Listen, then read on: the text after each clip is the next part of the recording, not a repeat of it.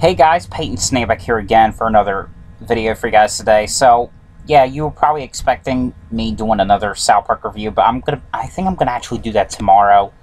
Um, I just don't really feel like watching it right now. I mean, since I just already got done watching The Snowman. Um, so, um, yeah, I just got done watching The Snowman on my iPad. Um, and if you don't know how I did it, I just went to um, fmovies.is. Well, I think it's called bmovies.is. I hadn't been on the website in a while, but I know they changed the name, so um, just look up that website and you might, you will find this movie. Um, but yeah, I just got done watching The Snowman. Um, now, out of five stars, um, I give it a four because I mean, I and I did, I actually did kind of like this movie, but I mean, there was there was some kind of things I didn't really understand. Um, but what it's basically, it's basically about um,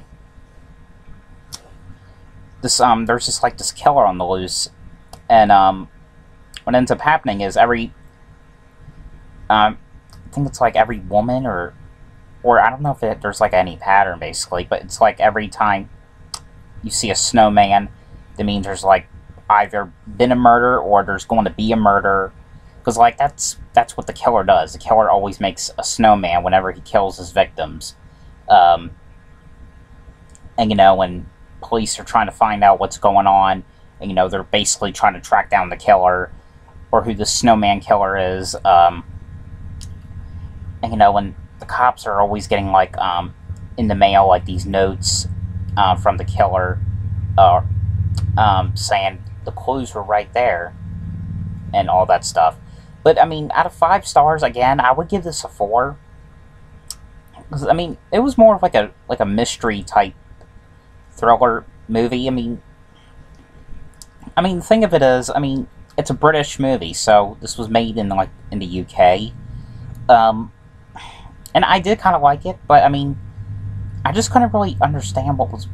It was kind of confusing, in my opinion. It, I mean, some of the stuff was like confusing, and plus, you know, I could, and it's not the fact that because um I mean the movie hasn't been released on DVD or Blu-ray yet, but I mean it was obviously a bootlegged thing I just saw. So um, but the fact is I couldn't, and and maybe maybe it could have been some of the problems with that, but you know it's just like because it's a British movie, so I couldn't really understand what because the accent that they have, I couldn't really understand half of the stuff they were saying because you know they they're British, and I know that they're they're gonna have like an accent, and you know they're gonna they talk English, though. They they just have like an accent.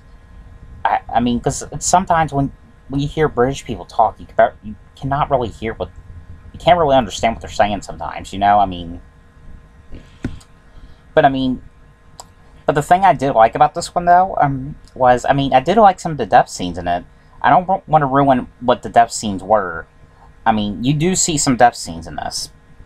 Um, it's just the way that um, there's some scenes where um you know the killer I mean how he makes some of the snowmans I don't really want to ruin how how he does it but I say it's it is worth watching. I mean if you like these kind of movies I mean I kind of liked it. I mean it's not the greatest but you know it was it was decent. I mean I, it was kind of confusing though but I'll give it a 4 because I did I did like some of the stuff that they did. I, I did kind of like how they had like that you know snowy type you know um, setting. Um, but anyway, guys, um, I hope you guys enjoyed this video. Thanks for watching, and I'll see you guys later. Possibly South Park either. I'll probably just do it tomorrow, but bye.